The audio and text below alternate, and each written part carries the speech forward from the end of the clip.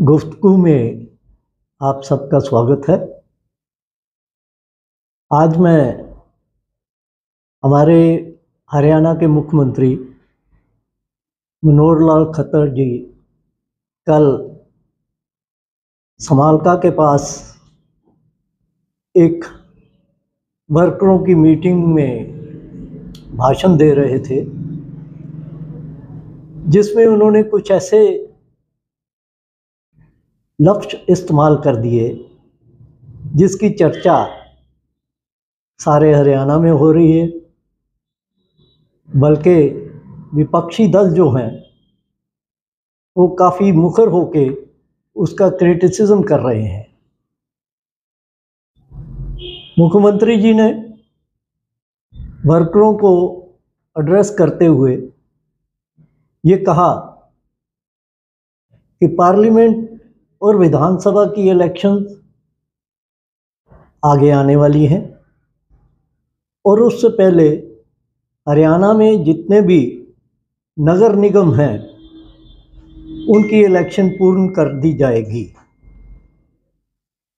इससे आगे उन्होंने ये कहा कि वर्कर्स को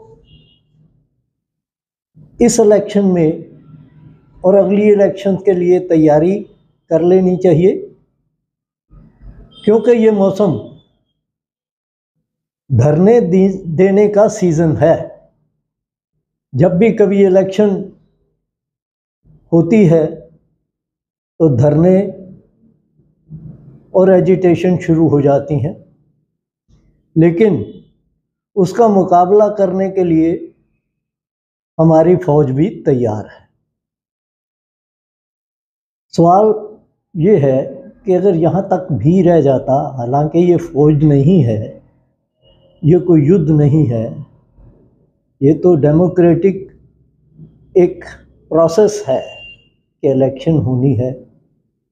वर्कर्स अपनी अपनी पार्टी द्वारा किए गए कार्य जो हैं, वो वोटर्स को पब्लिक को बता सकते हैं। उसके लिए अपनी मीटिंग्स कर सकते हैं रैलीज कर सकते हैं। फौज भी इस्तेमाल किया, वहाँ तक कोई ऐसी बात नहीं थी। लेकिन मुख्यमंत्री ने जो आगे कहा, उसका काफ़ी विरोध हो रहा है। और वो मैं पूरी तरह से पढ़ के बताना चाहूँगा। कि मुख्यमंत्री जी ने क्या कहा?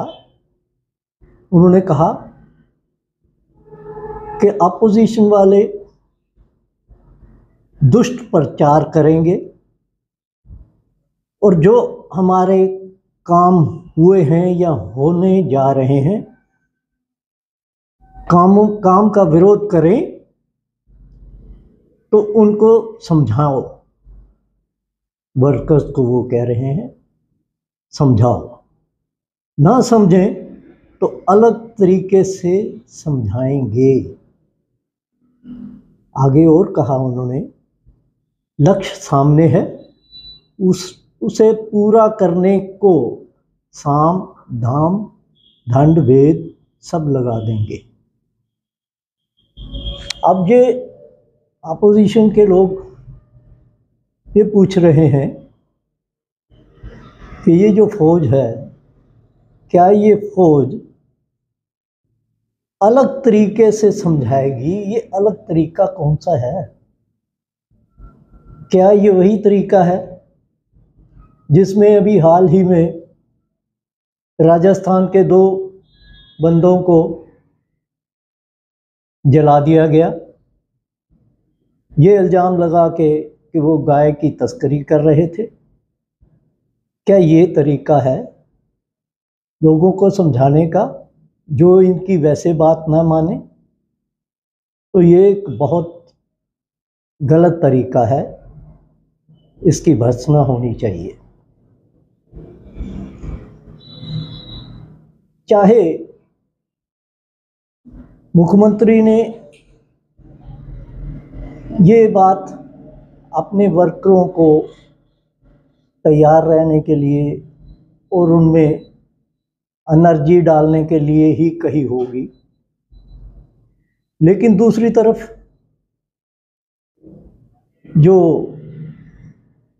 बीजेपी के नेताओं में आपस में डिफरेंसेस हैं, वो भी कल खुल के सामने आ गए कि मुख्यमंत्री जब तक मीटिंग के स्थल में रहे, तब तक हरियाणा के एक और दजग नेता, कैप्टन इंद्रजीत सिंह जी, जो यूनियन मिनिस्टर भी हैं, वो तब तक उस स्थल पे नहीं गए, जब तक मुख्यमंत्री वहाँ से चले नहीं गए। राव साहब वहाँ पौने एक बजे के करीब पहुँचे और मीटिंग स्थल से तकरीबन 500 मीटर पर ही बैठ गए किसी अपने वर्कर के यहाँ वहाँ से उठे वो रेस्टोरेंट में चले गए।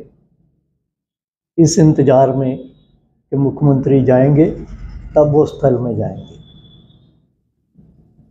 जब मुख्यमंत्री गए तो तब राव साहब वहाँ पहुँचे तो उन्होंने अपने मन की बात कही। पी धनखड़ जी, बीजेपी के स्टेट प्रेसिडेंट भी हैं, वो भी वहाँ थे।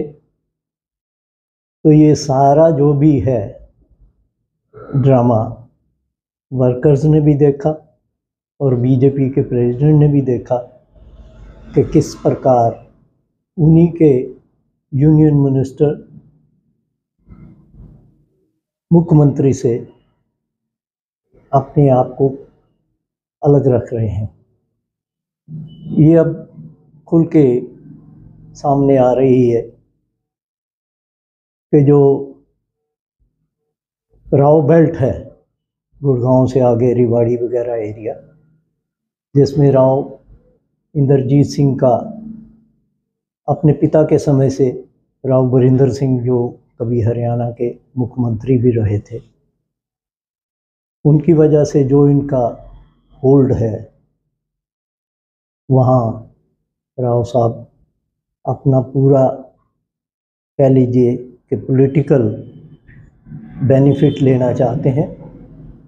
पिछली बार भी उन्होंने अपनी बेटी को मेंबर ऑफ़ पार्लियामेंट की टिकट दिलवाने के लिए कोशिश की थी, जो पूरी नहीं हो सकी थी, लेकिन इस बार तो उनकी बेटी ने ऐलान ही कर दिया है कि वो इलेक्शन लड़ेगी।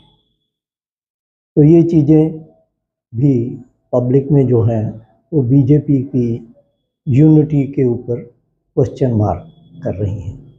आगे देखते हैं कि इसका कितना पॉजिटिव और कितना नेगेटिव वर्कर्स के ऊपर और पब्लिक के ऊपर असर रहेगा।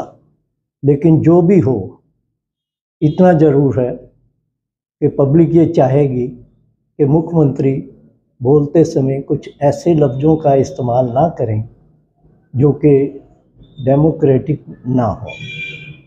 आज इतना ही। आप सबका धन्यवाद।